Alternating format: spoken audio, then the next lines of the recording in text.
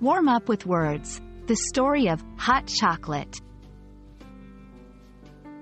Hello, everyone. Today, we're diving into a cozy and delicious part of the English language.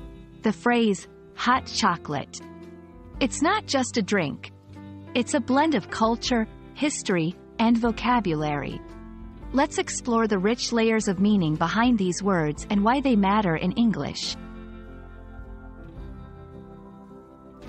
Hot chocolate is a phrase that combines an adjective, hot, describing temperature, with a noun, chocolate, which refers to the beloved product made from cacao beans. It's not just a warm drink. It's a symbol of comfort and indulgence.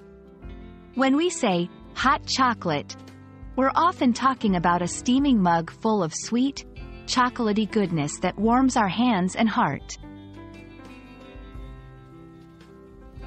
Throughout the world, hot chocolate has different cultural significances. It can be a holiday treat, a winter staple, or even a daily pleasure. It's a drink that has the power to bring people together, shared at gatherings, over intimate conversations, or while snuggling up with a good book. Did you know that hot chocolate can refer to different things depending on where you are? In some places, hot chocolate is rich and thick, almost like melted chocolate bars. In others, it's more milky and sweet. This phrase can also introduce learners to related vocabulary such as marshmallows, whipped cream, and cocoa powder. Let's put our phrase into action. You can say, I love sipping hot chocolate on a cold day, or, Would you like to make some hot chocolate together?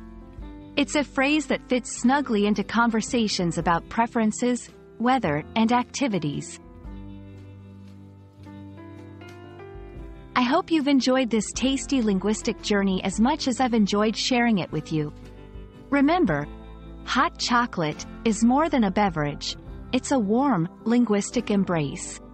Stay curious and keep learning, one sip at a time. See you in the next video.